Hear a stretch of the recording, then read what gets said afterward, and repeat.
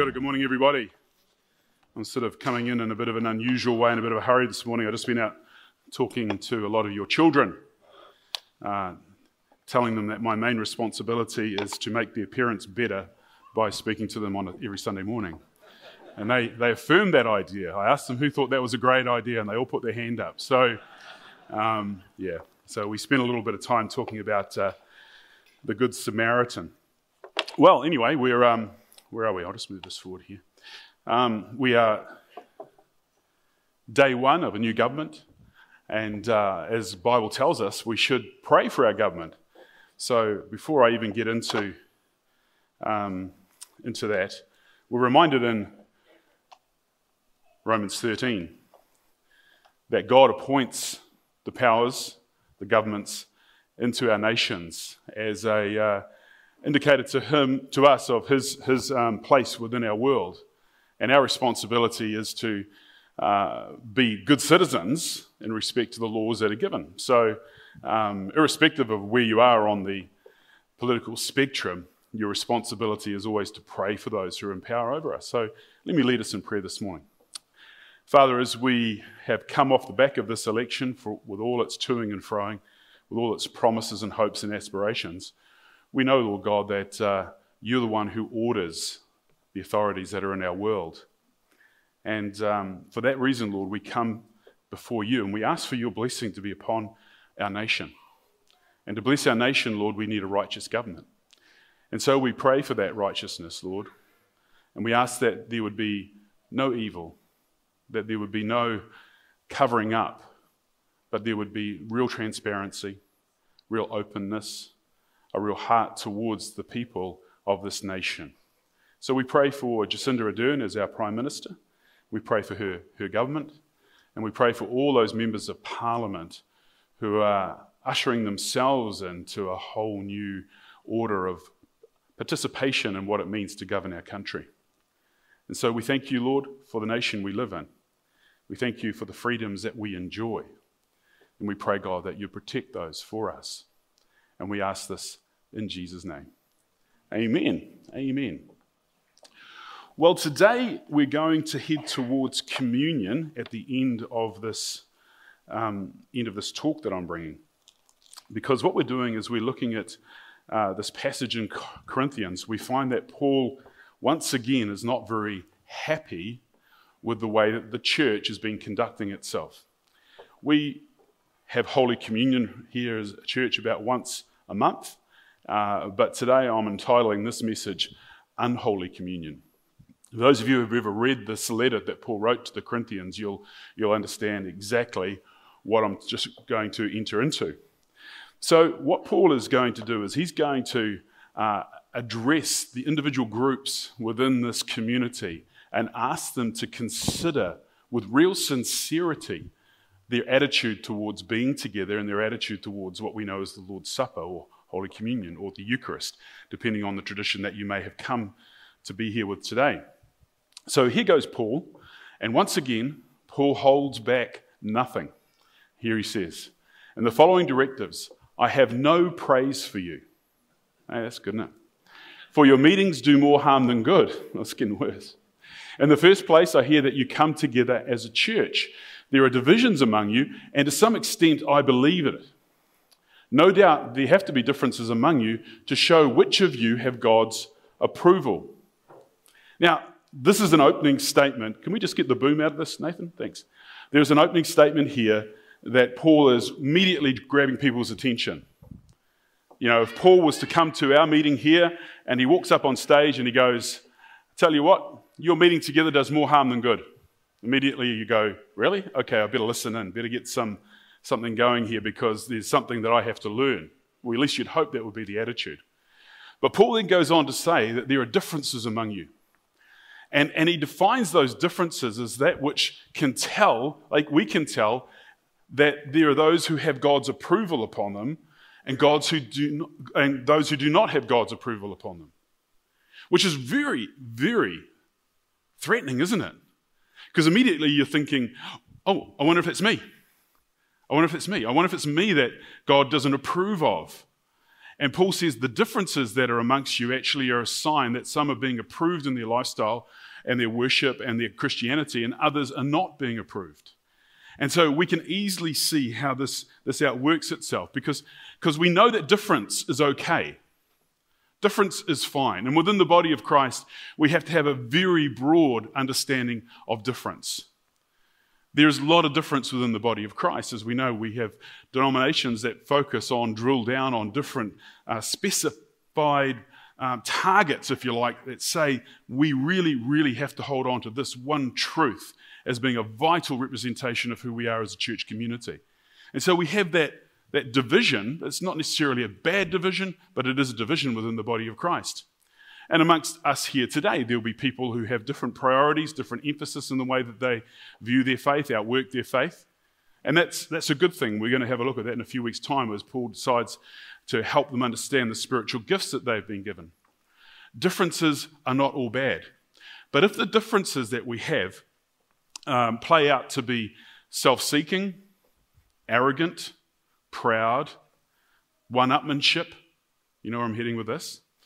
All of those bad traits that we know create division rather than unity, then we end up with those differences breaking up the body of Christ. Now, we've got to have um, unity around Christ and Him crucified, but there are certain things and other things within Scripture that, literally for centuries, brighter minds than mine have wrestled over for decades and decades and still never completely reconciled. So, for me, I have a very simple attitude towards that, and that is that I can live with that difference as long, but I can't live with the arrogant attitude. You know, the attitude is the most important thing that goes on here. There will always be differences amongst us because of the way in which we have uh, been raised or we view Scripture. But Paul is saying, listen, these differences aren't necessarily theological, these differences are actually sociological. They're more about how you're outworking your faith, how you're living your faith. And so, what Paul is saying is that the, the difference is evidence in the fruit in your life. It's fair to say? That's understandable. The difference is fruit in your life.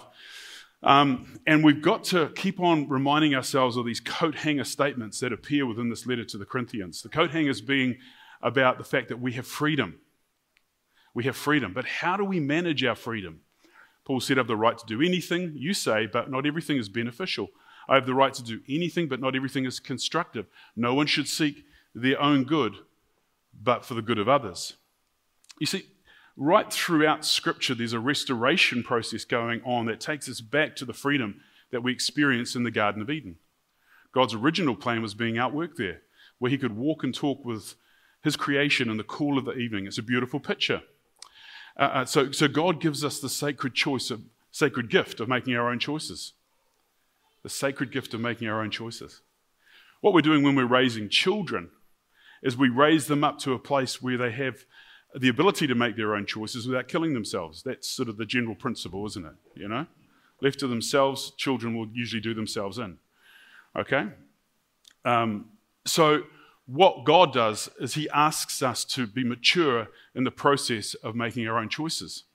The thing about this freedom is that uh, it's, it's a really positive thing, but it has consequences.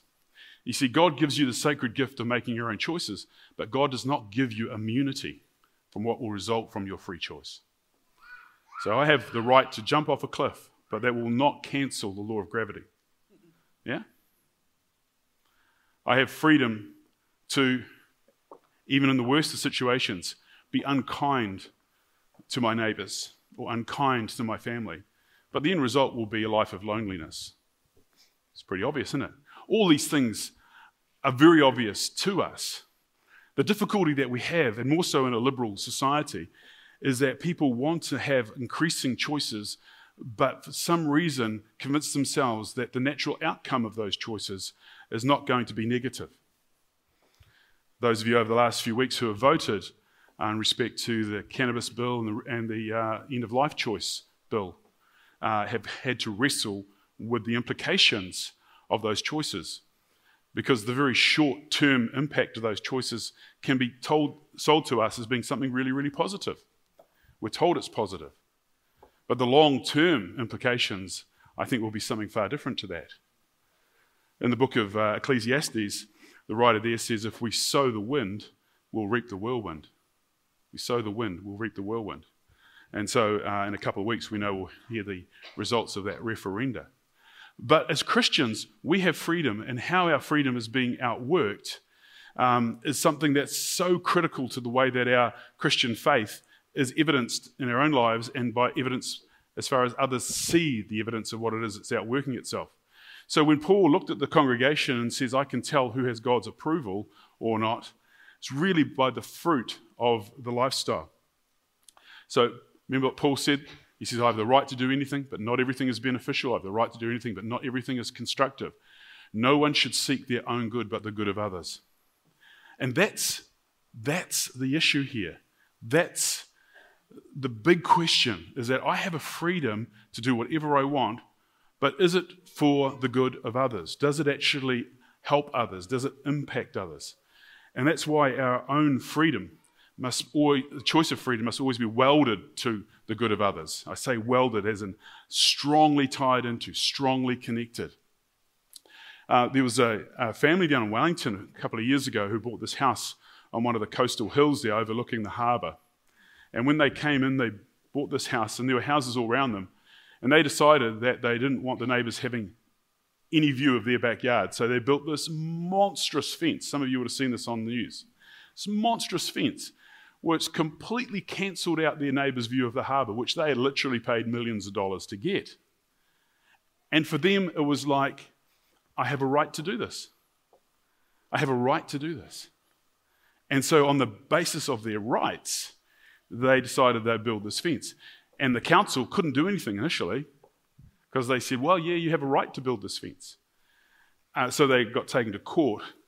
And the judge said, yes, you have a right, but you've, you've failed morally. We're a community. You can't do this sort of thing. And he ordered them to take the fence down, which sounds like a really big deal.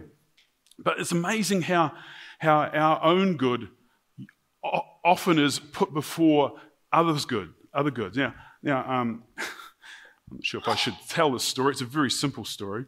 I come in from Te Puna uh, most mornings, and uh, there's a bit of traffic usually backed up before the Wairoa River there. And so I have a choice, just pretty random, really. I can go, go, go through Te Puna and come down the, the road by the river there, Station Road, or I can come down the main highway. But there's a, a junction there where the, the traffic merges.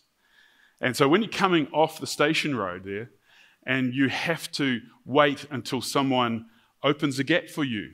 Yeah? And I am surprised.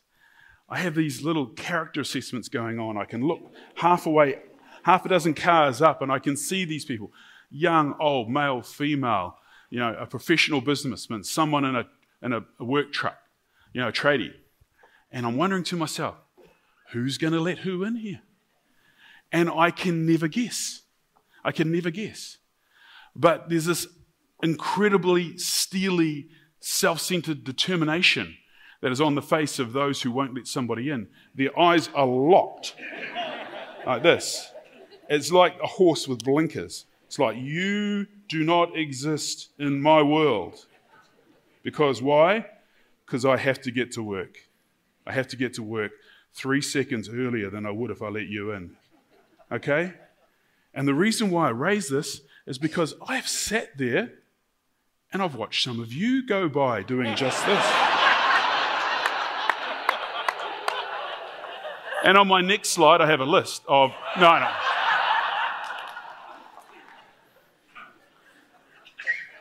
It's true. It's true. It's true. I've seen some of you. And I just, I sort of think, you know, in the big scheme of things, the big scheme of things, just be human. Welcome to the human race. Didn't Jesus say, Do to others as you'd have them do to you? Do you want to be sitting there just smiling at all these people coming by? Hi, let me in. Anyway, it's my little grudge for the day. So, not really. So, Paul said this In the following directives, I have no praise for you for your meetings do more harm than good. In the first place, I hear that when you come together as a church, there are divisions among you. And to some extent, I believe it. No doubt there have to be differences among you to show which of you have God's approval. Now, I just want to take us back to the early part of this chapter because I think Paul is alluding to something that he made a very big statement about earlier on. And this is this He said this By the grace God has given me, I laid a foundation as a wise builder, and someone else is building on it. But each one of you should build with care, for no one can lay any foundation other than that which is already laid, which is Jesus Christ. If anyone builds on this foundation using gold, silver, costly stones, wood, hay, or straw, their work will be shown for what it is, because the day will bring it to light. It will be revealed with fire, and the fire will test the quality of each person's work. If what has been built survives, the builder will receive a reward. If it is burned up, the builder will suffer loss, but yet will be saved, even though as one escaping through the flames. Paul called the Corinthian church saints. It's the biggest declaration of faith I think Paul ever writes. Because we have just spent weeks and weeks and weeks outlining all the atrocious behavior that exists in this community. And yet he calls them saints. And Paul talked about how it is that their actions will be either like silver and gold, which will stand the test of time and the fire of judgment. But then Paul said there'll be other actions that we bring which God will, will burn up. Now, if I had a piece of steel here, I didn't because I'd, I'd cook myself with it, I'll burn it, and I put the fire to it, um, we know that that steel will hold its, uh, its strength, hold its uh, place. It's not going to disappear. But, um, you know, what's going to happen with this piece of uh, paper here? Of course, you know, this is, this is what happens when paper gets tested, it just burns up. So there we go, didn't hurt anybody. But I can smell the smoke. Ooh. When Paul's looking at this gathering of people, he can smell the smoke. He can smell the smoke of the hay, wood, and stubble that is being offered to God as something that is completely inappropriate as, a, as an act of worship or, or a sense in which you're caring for one another. You see, what Paul is saying is this what he literally says is so then, when you come together, it is not the Lord's supper you eat. You know, he's saying your meetings do more harm than good you're getting, gathering together for a communion service. Well, Paul says, I wouldn't even call it that. Now, Paul's understanding of communion was probably very centered around the traditions, of course, of the Passover meal. And uh, here's Leonardo da Vinci's favorite, sorry, I say it, uh, world famous picture of the apostles all sitting on one side of the table eating dinner. Okay? Which is not how you normally do it, but for our benefit, we get to see them. But what happens in the upper room the night that Jesus uh, described to the disciples what was going to happen is they, they had this Passover meal together. And it was very ordered. And traditional Jewish families still have this Passover meal today. Uh, and the food on the table is representative of the journey that Israel went through. And so people would stop, talk, read scripture, eat from certain portions of the meal. There was salt water that represented the tears. There's uh, bitter herbs that bring tears to your eyes, again, to, to describe the feelings and the emotions of the people of Israel when they were in slavery in Egypt. Uh, there's honey nuts, honey and nuts. Uh, there, a combination of that, and that's there's a picture of the bricks and the mortar. Sorry, the bricks that they were made, us to make as slaves. And so lots of different symbolism there in this meal. So when this meal was eaten, uh, there was an order to it, there was a tradition built over hundreds of years. And, uh, and however, Paul now is trying to take this tradition, this understanding of the sacredness of this meal that Jesus initiated, and he's trying to get this rabble to come into some sort of order to allow themselves to fully appreciate what it is that God has done for them. And, and I keep asking myself, how did Paul end up with this rebel, this absolute crazy bunch of people, because we're going to see how bad they get in a minute. And uh, I, went, I went back to the book of Acts and I'll show you this. Paul, when he went to Corinth and established the church, he was preaching to the Jews. And yet in Acts chapter uh, 18 here, it says, Then Silas and Timothy came from Macedonia. Paul devoted himself exclusively to preaching, testifying to the Jews that Jesus was the Messiah. But when they opposed Paul and became abusive, he shook out his clothes in protest and said to them, Your blood be on your own heads. I'm innocent. I'm innocent of it. From now on, I will go to the Gentiles. Okay, so Paul's preaching amongst the Jews, those who understand the Passover traditions, those who would understand this change that would bring them to the Lord's Supper. But because they get abusive to him, Paul finally is worn out and he says, literally, to hell with you lot, let, your, let the blood be on your own heads. I'm out of here, I'm going to the Gentiles.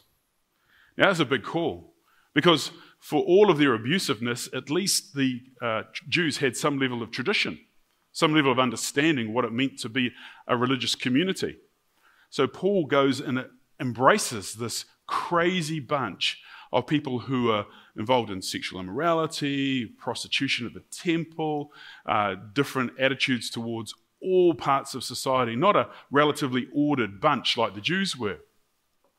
So then, so then, so then, so then, so then, when you come together, it is not the Lord's Supper you eat. For when you are eating, some of you go ahead with your own private suppers. As a result, one person remains hungry and the other gets drunk. Don't you have homes to eat and drink in? Or do you despise the church of God by humiliating those who have nothing? What shall I say to you? Shall I praise you? Certainly not in this matter. See, wild times, man. Wild times. It's really hard for us to imagine this being a church community. It'd be like this portion of the church over here, led by one of our elders, Adam Yates and his wife, and they would have turned up early and they would have had the best wine and they would have got their little group together. Don't feel condemned, Adam. Got their little group together and they would have gone, We're having a party and we've got all my mates here. Okay? Got all my mates. And you lot aren't invited. Yes, we're church, but we're doing our own thing.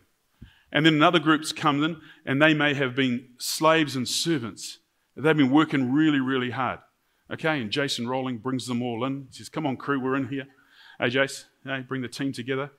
And, uh, you know, he pulls out a loaf of bread that's been sitting under his armpit, keeping warm for the last six hours. And he says, Hey, guys, um, this is all I've got, but I'll share it with you, you know? And so here he is sharing it. But over there, it's getting louder and louder because they're drinking more wine. And uh, all that's going on is this, this division. And, and what's happening is uh, people are being humiliated. The level of exposure to what you have and don't have is exaggerated, not minimized. And so it's a complete opposite to what it is that God was trying to generate. You can call this what you want, but it isn't the Lord's Supper, Paul said. Okay? You can put lipstick on a pig, but it's still a pig. Okay? You put lipstick on a pig, but it's still a pig. And it was pretty much just a pig's breakfast going on. That's, that's what's going on. It was such a disaster. These saints in Corinth, divisions among you, eating separately. Some remain hungry, some get drunk. You humiliate the poor, Paul said. You know, there must have been days when Paul said, Ah, oh, man, I think I'd rather take a beating from the Jews than put up with the rubbish that these guys give me. Eh? But Paul's called to the Gentiles, and he just has enormous faith. And I know some of you at the moment are looking at the behavior of those that you love, and you're going, oh man, that is just such a contradiction to the Christian life. And, and you, you need to hold on to the same level of faith that Paul had. Paul was looking at these people going, oh, Lord, seriously. And he had such a high vision for these people, the sense in which he could see a future of what it was God was going to do in their lives. And I just really, I just think, you know, when you look at Paul's life and all the miracles that he performed, this has got to be the, one of the biggest attitudes of the heart that is seeking by faith to see what isn't there come about. And that's what we do when we pray for those we love, eh? Pray for those who are far from God. Is that we, we believe in God that this person will become the fullness of who God has created them to be. And that's what Paul is saying to them. But he doesn't hold back. This is a tough love thing. Okay? This isn't blessing the mess. Paul is diving in there saying, Look, I've got to rip this thing apart. You guys have got to start again. This is rubbish. Call yourself a church. This isn't what churches do. This isn't the Lord's Supper. And so, what Paul does now is he goes on and he tries to strip back this gathering of crazy behavior and he tries to strip it back and center it on the person of Jesus, which of course is the whole reason for it anyway. Okay? So Paul says this For I received from the Lord what I also passed on to you. The Lord Jesus, on the night he was betrayed, he took bread, and when he had given thanks, he broke it and said, This is my body, which is for you. Do this in remembrance of me. Now, I could imagine that in that setting, if Paul had been present, and remember he wasn't present, but he was writing this letter, if Paul had stood up and took the opportunity and he'd said these words, I think there would have been a soberness that came over the community at that time. Because all of a sudden, just as we do in communion, as we hold it here, there's a soberness because we stop and we zero in on the thing that is the most important part of our faith, yeah? The very center of our faith is Jesus Christ and Him crucified for our sins, raised from the dead. So Paul is saying, Do this in remembrance of me. Then he says, In the same way, after supper, he took the cup, saying, This cup is the new covenant in my blood. Do this whenever you drink it, in remembrance of me. For whenever you eat this bread and drink this cup, you proclaim the Lord's death until he comes. Again, simplifying the whole process, bringing it down to a place of sober reflection. And when these sober reflection moments happen, we have a moment. We have a moment with God, a moment of revelation, where God will become very close to us, not just in the physical elements of the bread and the wine, but in that moment we allow God the room to speak to us, where the Spirit will prompt you about something, affirm you, or challenge you. And it's a beautiful thing because it's God's relationship with us that's being worked on here. Um, so when we look at the bread and the wine, which you will do in a few moments because it's going to be handed out now, um, God invites you to have a moment. A moment where you can consider your own life in light of the sacrifice of Christ. Because Paul is very, very strong about our attitude. Let's have a look at what he says. So then, whomever eats the bread or drinks the cup of the Lord in an unworthy manner will be guilty of sinning against the body and blood of the Lord. Everyone ought to examine themselves before they eat of the bread and drink the cup. For those who eat and drink without discerning the body of Christ eat and drink judgment on themselves. Wow, sober moment. You notice how Paul doesn't start telling off the individual groups? start telling off people specifically for what it is that they have done, their behaviors.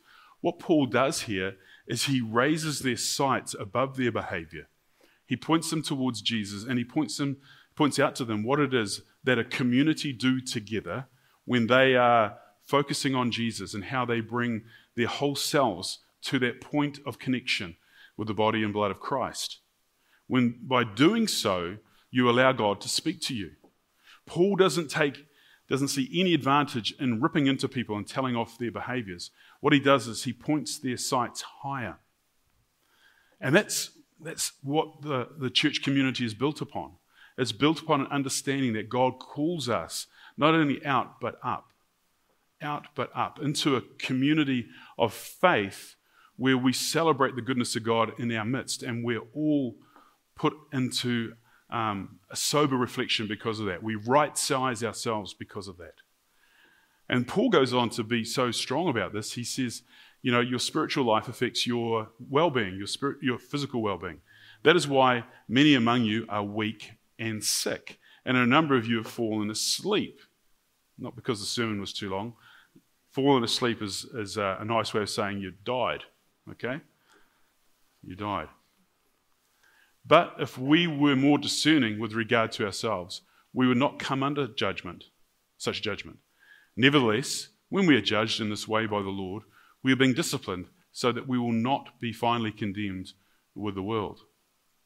Paul is making a distinction here, which is really powerful, because he said some of you have God's approval upon you, some of you don't.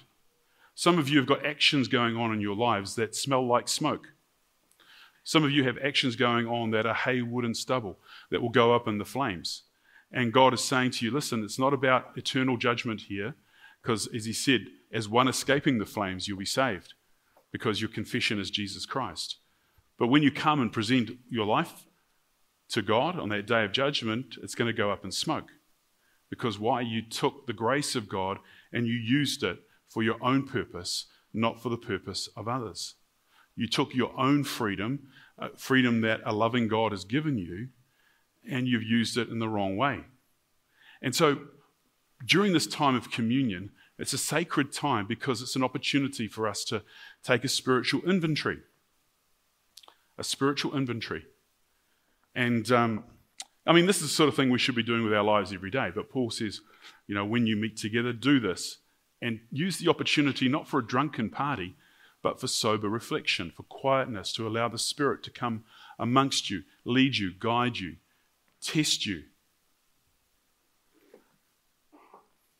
One of the problems that we have within a, uh, a service like this is that we don't have a great deal of time usually to reflect upon the things that we do need to get right. But let me just, let me just put this out there. Spiritual awareness means occasionally we'll let the communion pass us by. Because we shouldn't be taking the, these elements in an unworthy manner.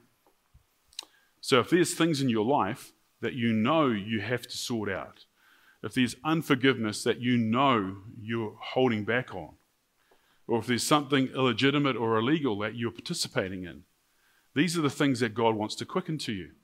And so, from time to time, as you are going through this life, and in this life you will know trouble, okay?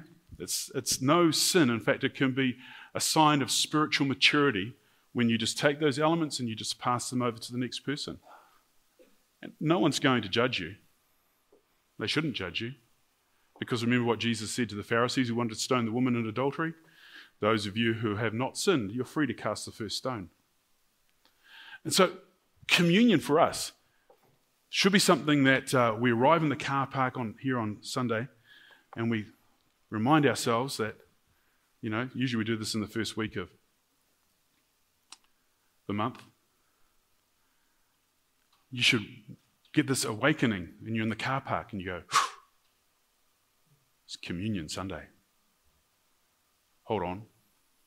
I think I'll go fishing. No. It's Communion Sunday.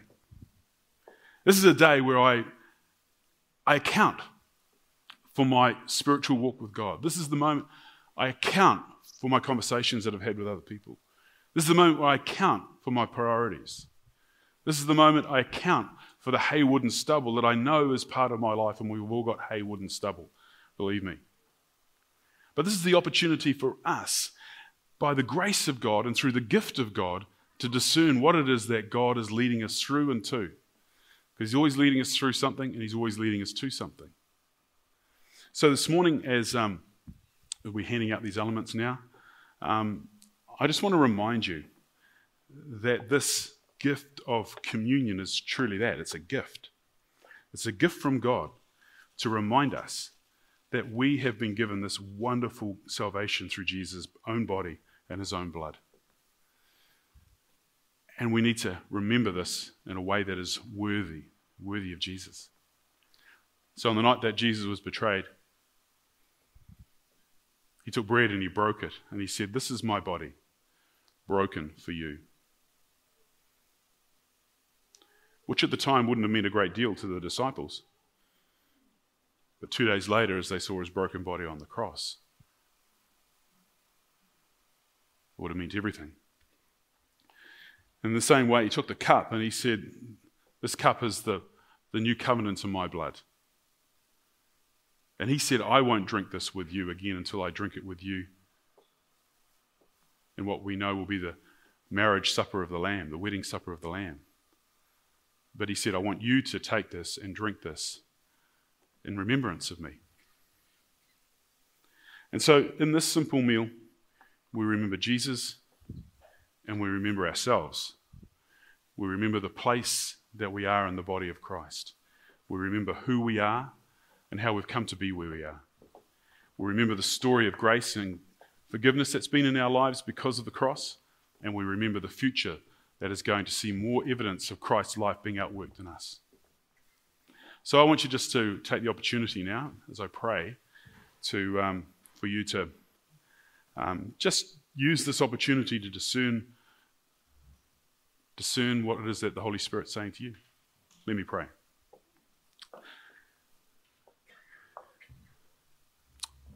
Lord, I thank you that by tradition, through the collective learning of your church, we don't have these crazy drunken times that we would call church service or, a, or the Lord's Supper. We're, um, we're a lot more organized and we're a lot more religious than that group in Corinth. But that doesn't mean our hearts are in the best place. We can have good behaviors on the outside, but we know that it's the heart that concerns you the most. And so, Lord, today we, we do that inventory. In this moment, Lord, we want to ask that you forgive us for the things that you bring to our attention. We ask for your grace, your grace that's poured out freely. We ask that not only would we be forgiven, but that we can change the behaviors that we needed to be forgiven for.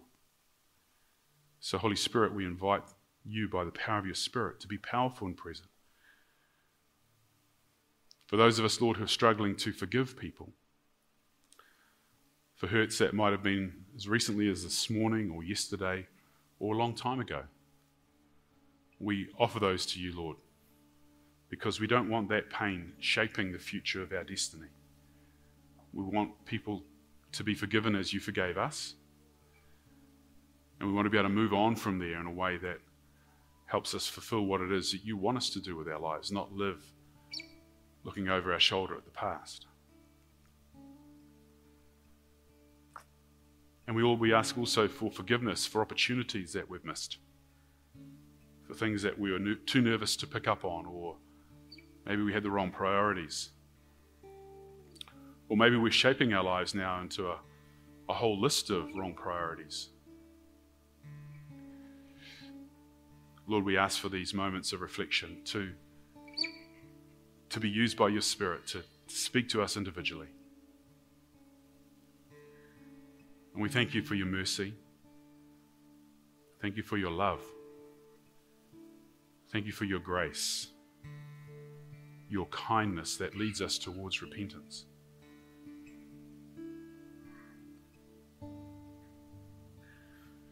So, in this moment, Lord, we, we choose to eat and drink together as the body of Christ. As we discern your body, as we discern one another as we discern the work of your Spirit in our lives. We ask this in Jesus' name. Let's eat and drink together.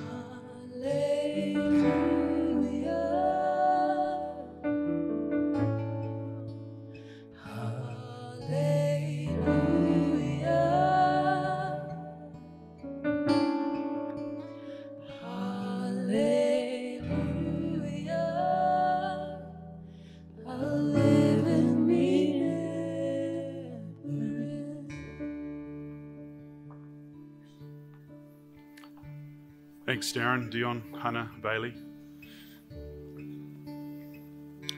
We live in remembrance. It's our whole life is remembering who won us, who deserves our time and our attention, who deserves to shape the future that we have. That's what this communion is all about. Not only the suffering and the pain of the cross, but to whom we belong. It's a beautiful thing, isn't it? Let's stand together for prayer.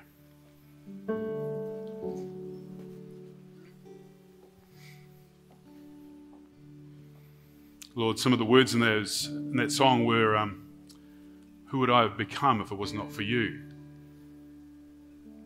It's very, again, sobering to reflect upon the impact that you've had upon our lives. The shaping, the calling, the leading, the values, the attitudes, the examples that we've had from, from you, Lord, in your word and from the body of Christ. Lord, who would we be if it wasn't for you? And for that reason, Lord, we thank you for what we know as the Lord's Supper because it belongs to you. And we are invited to eat at that table. And as your guests, Lord, we look to you as the author and perfecter of our lives. And we thank you for your Spirit's work that calls us to short accounts, calls us to actions of love, when by nature we'd rather do the opposite. So, Father, we ask you walk closely with us. Let us take this uh, moment that we've experienced today into the week ahead. That we would love, that we would forgive, that we would be generous, and we do this all for the good of others, as you call us to. We ask all this in Jesus' name. And everyone said, Amen. God bless you.